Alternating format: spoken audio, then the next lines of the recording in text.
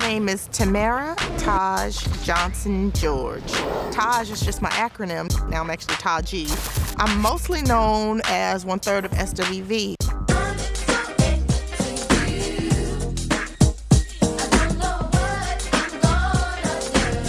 Lately, my title has changed. If they don't recognize me as one of SWV, they always recognize me as Eddie George's wife. Never pestered him. I never, I never had to be everywhere he had to be. I gave him a space, and I think he really appreciated that. Tamara, it, it was everything. You know, the conversation was great.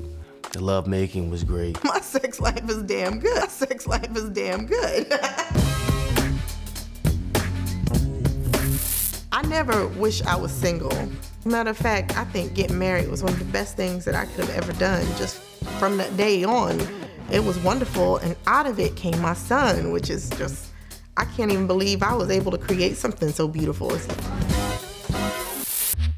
You know, it hasn't overcome my personal life to the point where I don't have any privacy. I make sure I get that. Brooklyn, New York is where I was born and raised. That's where most of my family members are. Know, I went to junior high school in Brooklyn, so I have a lot of ties in Brooklyn. 925 St. Mark's make me think of uh, high school because I lived there with my aunt after my mother died, and I wasn't allowed to go outside. I couldn't use the phone. I couldn't do nothing.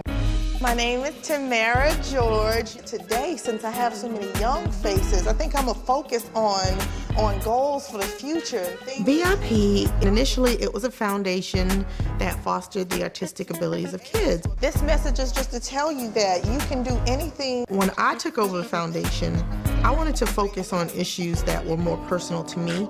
So I revamped the foundation to cater and support domestic abuse. Memory. December 1965, five years old. My mama tells me in a scary, loud, life-threatening voice to stop scratching my coochie snorcher. I become terrified that I scratched it off down there.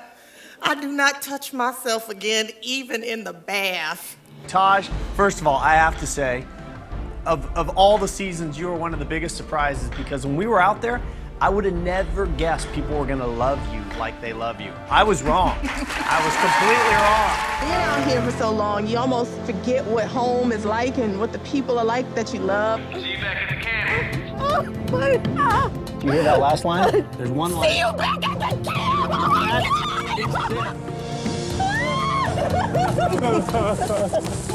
He's my fire. He is the love of my life. So it was just like the skies just parted, the sun came out, and nothing else hurt after that. So it, it's, it's gonna be kind of tricky for me to separate the person who was hurt from the person who has to make an unbiased decision tonight. And I've been going back and forth all day. I'm not sure who I'm gonna pick yet. I was very upset with them initially. As I got up from the chair and walked down the stairs, I was hot. I wanted to kill them. I wanted to go back and burn them with my torch.